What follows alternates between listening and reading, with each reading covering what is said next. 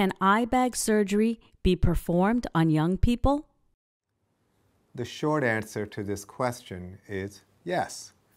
Many of my patients tell me they've had bags under their eyes since they were very young.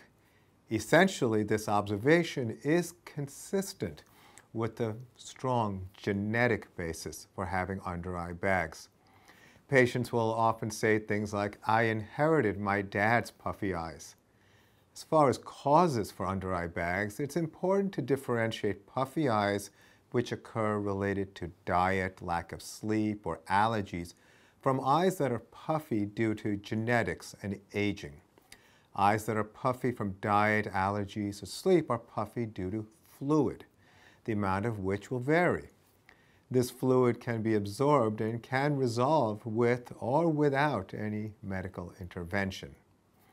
In contrast, eye bags that are present all the time are caused by the presence of something called herniated fat. This means that the fat that is normally present under the eyes has fallen forward, creating the appearance of under eye bags. This occurs due to factors such as genetics, bone volume loss, and other age-related changes. Lower eyelid surgery is one of the most popular procedures we perform in our practice. Genetics being such a significant factor as a cause for under eye bags, I've actually operated on three generations in the same family. In certain circumstances in the past, I've operated on the occasional teenager. For example, I operated on a 14-year-old male who was being teased in school, resulting in his having some serious emotional issues. His parents were relieved to see him feel more confident and less self-conscious about his under-eye bags afterwards.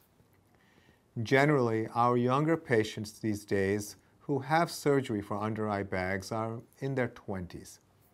In your 20s, facial maturing is relatively stable, allowing for more accurate surgery to be performed. For the majority of my patients of all ages, I perform surgery for under-eye bags with a minimally invasive specialized technique called transconjunctival blepharoplasty.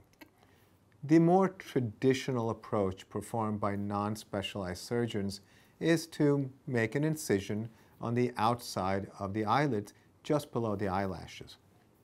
In my experience, this technique carries with it a higher risk for weakening of structures responsible for supporting the lower eyelids, resulting in conditions such as lower eyelid retraction and ectropion. In contrast, I approach the under eye bags from behind the eyelid to sculpt the fat while preserving the natural and characteristic shape of your eye. The results look natural, as if you never had eye bags. This is particularly important for young patients who aren't yet experiencing facial aging changes and want to avoid any conspicuous signs of having had lower eyelid surgery.